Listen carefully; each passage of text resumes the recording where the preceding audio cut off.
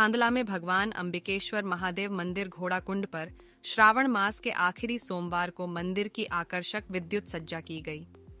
मंदिर परिसर में तिल्ली के तेल के 1008 दीपक प्रज्वलित किए गए आकर्षक रोशनी से सजाया गया है।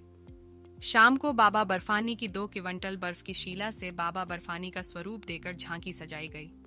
वही परंपरा के अनुसार भगवान काशी विश्वनाथ महादेव मंदिर में शाही सवारी के रूप में नगर भ्रमण पर निकली। जिसमें भगवान काशी विश्वनाथ रथ में सवार होकर भक्तों का हाल जानने के लिए नगर भ्रमण पर निकले। भगवान काशी विश्वनाथ महादेव की प्रतिमा का श्रृंगार किया गया, जिसके बाद पंचामृत से अभिषेक किया गया। उसके बाद भगवान की प्रतिमा को रथ में सवार किया गया और रथ में सवार होकर भगवान अपने भक्तों का हाल जानने के लिए शाही सवारी के रूप में नगर भ्रमण पर निकले। भगवान काशी विश्वनाथ महादेव रथ में विराजमान थे, जिसमें बाहर से भी कलाकार इसमें शामिल हुए। शाही सवारी का पूरे नगर में भव्य स्वागत किया गया। वहीं इंद्रपुरी कॉलोनी में शिवा योगी का रूप देकर आकर्षक श्रृंगार किया गया। अंतिम श्रावण सोमवार को देर रात तक मंदिरों में शिव भक्तों का तांता लगा रहा।